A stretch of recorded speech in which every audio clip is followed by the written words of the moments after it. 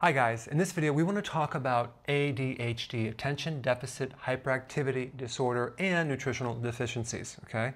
If you're interested in alternatives and nutrition, so just watch this, this is important. Here are the symptoms. Inattention, hyperactive, forgetfulness, temper tantrum, sleep disorder, aggressive behavior, okay? If your child has this, or you have this, um, here's what it is. It's, a, it's mainly a B vitamin deficiency and low vitamin D, okay? Um, if you're deficient in B12, you're gonna have a lot of problems with neurotransmitters. That would be serotonin for your mood, for sleep, uh, dopamine for your emotions, uh, adrenaline for the inability to sit there comfortably for a period of time. So you're, you're going to feel anxious all the time. Uh, so here are the deficiencies. You can get fatigued, depressed, memory problems. Like try to, try to study in school when you have a B12 deficiency. It's almost impossible. Vitamin B6 deficiency. This controls concentration. It calms the nervous system down. And if you're deficient, you're going to be hyper and you're going to like fly off the handle very easily. So then we have vitamin B1. Vitamin B1 mainly controls blood sugars, but if you're deficient, you're going to have a lot of stress built up. You're going to feel very restless. You're not going to be able to feel comfortable. And your mind's going to race. No wonder these kids are having a hard time. Irritable, sleep, distracted easily, and you're not going to be able to learn. Okay? Vitamin B3 affects the cognitive function. That's forgetfulness, memory issues, depression. And then we have vitamin D. If that's low, you're going to get depressed. You have memory problems and even like rage. That's, some, that's one of the symptoms. So these are the nutrients that really affect your cognitive function.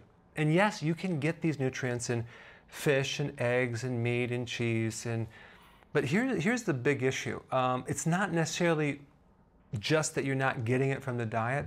These kids are eating things that are depleting these nutrients. So take a wild guess what food will deplete these nutrients. Do you have any ideas? I'll tell you. It's refined carbohydrates. It's refined grains in the form of breads, pasta, cereal, crackers, biscuits, waffles, pancakes, muffins, things like that. And actual sugar, high fructose corn syrup.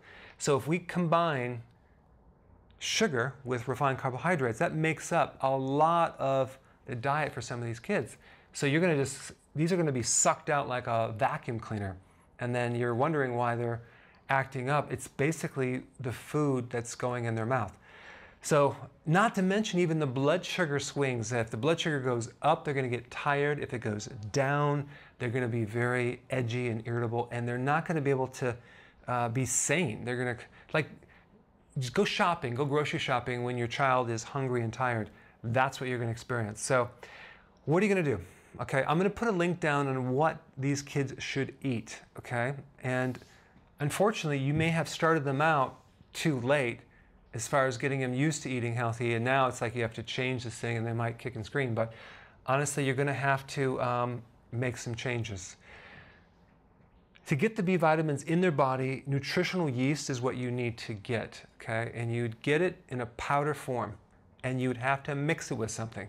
Put it in peanut butter you know, you may have to put some unsweetened chocolate in there just to, to drown the taste out, but we got to get the B vitamins back in their body. Um, but I'll put a video down below of some ideas of foods that you can eat. You're going to have to like make healthy recipes. I already have that solved, so you can make different desserts for your kids. So that way they can feel like they're getting something sweet, but it's, there's no sugar in it, okay?